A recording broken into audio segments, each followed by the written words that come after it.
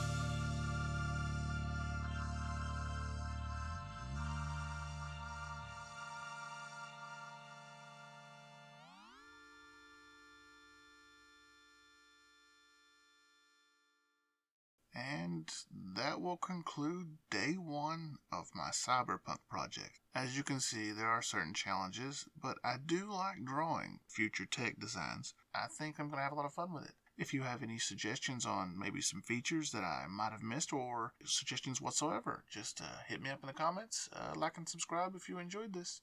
Peace.